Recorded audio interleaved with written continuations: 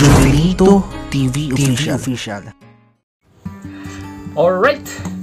And yo, what's up mga kabagis? This is Jubilito TV Official at eto na naman po muli ang isang edisyon ng ating reaction video. Isa po mapagpalang umaga, tanghali gabi sa inyong lahat mga kalingap at kabagis at kung saan parte man po kayo ng mundo na naroroon ngayon ay naway patnubayan po sana kayo na lumikha na maayos na pangatawan at syempre po, lagi pong ligtas sa araw-araw. Mega love shoutout po sa ating lahat mga kalingap at kabagis kay Kuya Val Santos Matubang, kay Ate Edna Vlogs at kay Kalingap Rab. Mega love shoutout po sa inyong lahat. At muli po sa lahat po ng mga kalingap partners na patuloy pong sumusuporta sa programa at advokasya ng kalingap. Mega love shoutout din po sa inyong lahat. At muli po sa lahat po ng kasamahan ko po sa Kalingap OFW Organic Sponsors or Team Cause na pinangungunahan po ni Sir Engineer July Paunil at ni Sir RP Max Vlog. Mega love shoutout din po sa inyong lahat. So ito na nga mga kalingap at kabagis. Mega love shoutout po sa Edren Community, sa Edrenatics Community na patuloy pong uh, sumusuporta kay Rina. Mega love shoutout po sa inyo.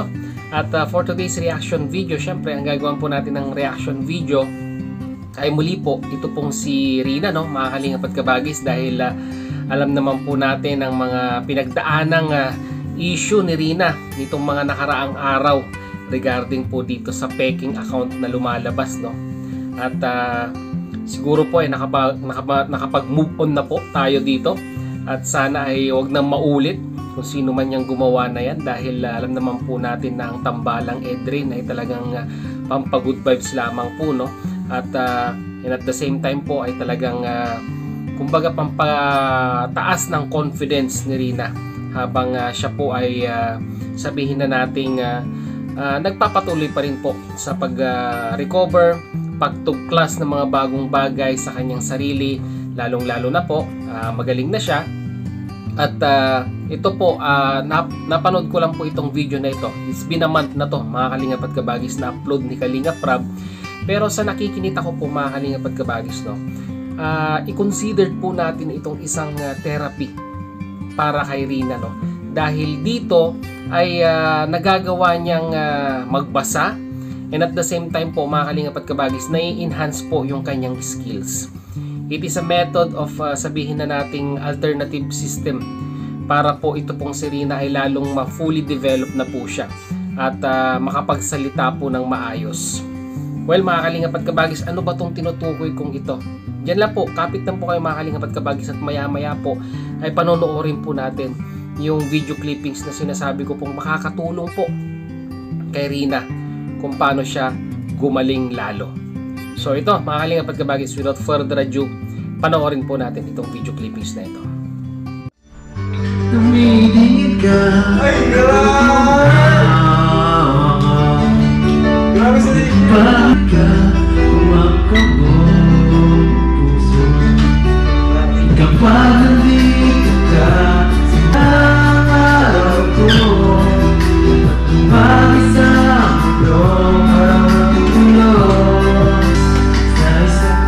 Hindi kita ka. Bakit ka pa nandito ka Napapaliw ako. Sa isang suyo ko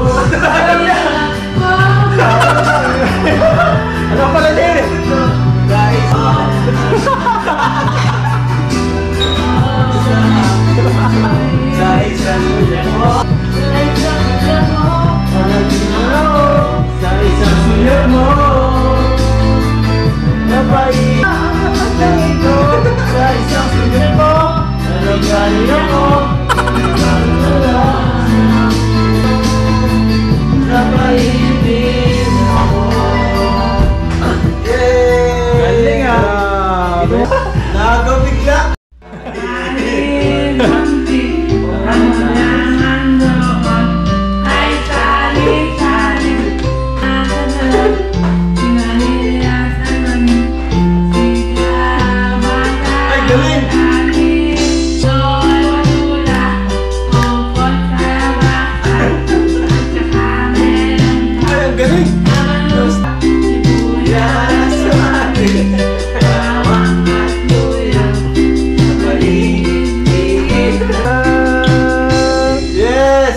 Galing, yun lang pala eh. Yun lang pala. Yun lang pala, bye. So ayun mga kalingap at kabagis no, napansin naman po natin kahit noon pa na itong si Rina ay may tinatago pong talento sa pagkanta. At dito po mga kaling- kalingap at kabagis ay makikita natin na ang pagkanta po ay isang napakagandang therapy po para kay Rina. Lalong lalo na po pag nagbibideo okay no mga kalingap at kabagis. Bakit ko po nasabi yan mga kalingap at kabagis? Unang-una po sila, syempre sa video okay, andun po yung lyrics habang tayo po ay kumakanta. At syempre, pag nandun ang lyrics, ay babasahin po natin yan pag hindi po natin kabisado yung kanta. Dito pa lamang po mga kalingap at kabagis ay nai-enhance or natututunan na po ni Rina yung tamang pagbasa, yung tamang diction or pronunciation po ng bawat sentence. At dito pa lang po ay mahahasa na po itong si Rina, no? Lalo pa pong na tatalim o lalo, lalo pa pong ah, gagaling siya sa pagsasalita dahil nga po syempre yung mga bawat salitang lumalabas po dito habang nagbibideo okay ay nababasa niya po. So, and at the same time po, mga kalingap at kabagis, yung ah, pagkanta niya po, mga kalingap at kabagis, ay madidevelop din naman po at the same time. So, kaya ko po nasabing magandang method po ito para po itong si Rina ay ah, lalo pa pong mapuli develop mga kalingap kabagis. Kaya sana magtuloy-tuloy no kasi alam ko napapansin nyo rin po mga kalingap at kabagis na pag ito pong si Rina ay kumakanta ay ah, talagang ah, nakapokus po siya at talagang ah, nagko-concentrate po siya sa bawat ah, ah, titik na lumalabas po sa television habang ah, sila po ay ah, siya po ay kumakanta no mga kalingap at kabagis. Kaya sana masuportahan to mga kalingap at kabagis no ng Team Kalingap. Siguro maganda siguro kung ah, ah, mabibilhan. Na, ah, hindi naman uh, kwanto, hindi naman necessity pero syempre ah, makakatulong sa tingin ko po mga kalingap at kabagis yung ah, magkaroon siya ng video okay no? Para hindi naman po laging ah, cellphone po ang ah, inaatupag ni Rina.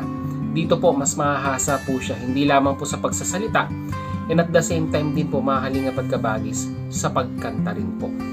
At malay natin mga kalingap at kabagis one of this day ay itong si Rina ay makakakanta na po ng diretsyo at talagang uh, ma- maa-amaze po tayo mga kalingap at kabagis sa mga possibility po na pwede pong mangyari kung ah, ito po ay may sakatuparan. Parang si Bina nung uh, nag-ribbon cutting, although talagang magkalayo po ang ah, kaso ni Bina, Bina Morales at si Rina ay ah, naka, napakalaking tulong din po sa kanila. Parang naging therapy din po nila yung ah, pagkanta. At dito po ay nai-express po nila ang kanilang sarili. So yun mga kalingap at kabagis, mag-comment po kayo kung ano naman pong inyong masasabi at sariling opinion dito nga po sa sinabi ko pong ah, magandang therapy para kay Rina yung pagbibideo okay po mga kalingap at kabagis. Sangayon po ba kayo? Comment down below po sa ating comment section. So yun mga kalingap at kabagis, muli maraming maraming salamat dahil hanggang sa dulo po ng ating reaction video ngayong araw na ito. Ay nasamahan niyo po muli si Jubilito TV Official. At muli po, papalala po ang inyong host. Sa mga hindi pa po nakasubscribe sa channel ni Kuya Val Santos Matubang at Ed na Vlogs at ni Kalinga Prab huwag po natin kalimutang subscribe ang kanilang mga YouTube channel. And at the same time muli po naglalambing din po ang inyong host. Sa mga hindi pa po nakasubscribe sa channel ni Jubilito TV Official, ay pakihit naman po ang subscribe button at ang notification bell para maging updated pa po kayo sa mga darating nating reaction videos. Once again, this is Jubilito TV Official, member of Team Cause. As always mga kalingap and kabagis, peace, God first. God bless po. Bye-bye!